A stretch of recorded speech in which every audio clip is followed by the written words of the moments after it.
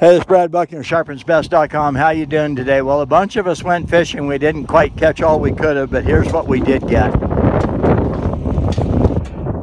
These are walleye and two little perch. Actually, they're they're edible sized perch. bass and a perch. Or, oh, okay. One's a that's a bass. Correction. One's a bass. Walleye, some of the best eating there ever was.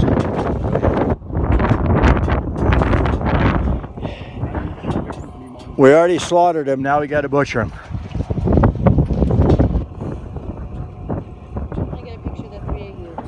All right.